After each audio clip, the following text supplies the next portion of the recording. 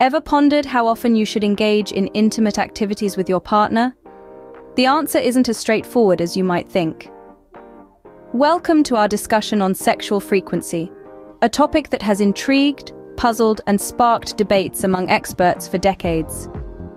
Dive into the world of renowned relationship therapists, psychologists, and sexologists who have dedicated their lives to understanding the intricacies of sexual relationships.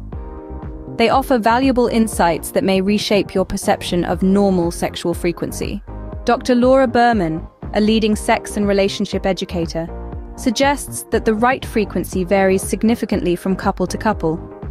It depends on numerous factors such as age, health status, lifestyle, and overall relationship satisfaction. Therefore, comparing your sexual frequency with others can be misleading and potentially damaging. Echoing her thoughts, Dr. Ian Kerner, a licensed psychotherapist and sexuality counselor, emphasizes the importance of quality over quantity. He proposes that couples should focus more on the emotional connection, intimacy, and satisfaction derived from sexual activities rather than the sheer number of encounters. On the other hand, some experts propose a more quantifiable approach. For instance, a renowned study published in the Journal of Sexual Medicine suggests that once a week is an optimal frequency for most couples. However, the study also points out that having sex more frequently does not necessarily correlate with increased happiness. Taking a different perspective, Dr. Jessica O'Reilly, a sexologist and relationship expert, encourages couples to define their own sexual normal. According to her, the ideal sexual frequency is what feels right and fulfilling for both partners, regardless of societal norms or statistics. In summary, experts agree that there is no one-size-fits-all answer to the question of sexual frequency.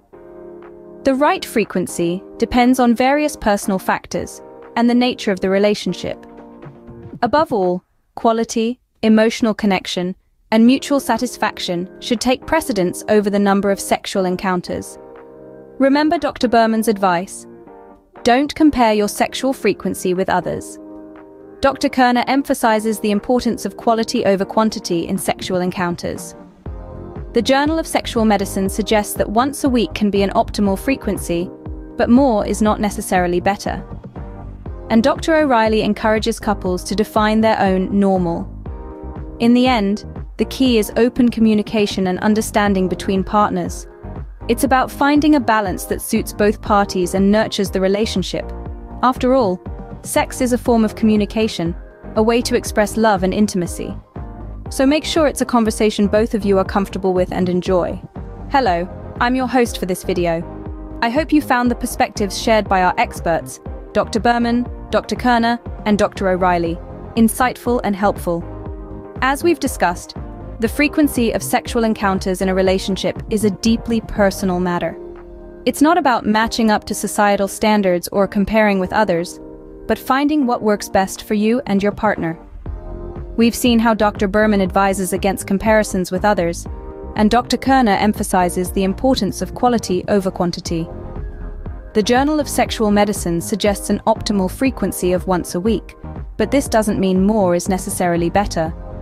Most importantly, Dr. O'Reilly encourages couples to define their own normal. Remember that sex is a form of communication, a way to express love and intimacy. Open, honest dialogue is key. Don't be afraid to discuss your needs and desires, and make sure you listen to your partners as well.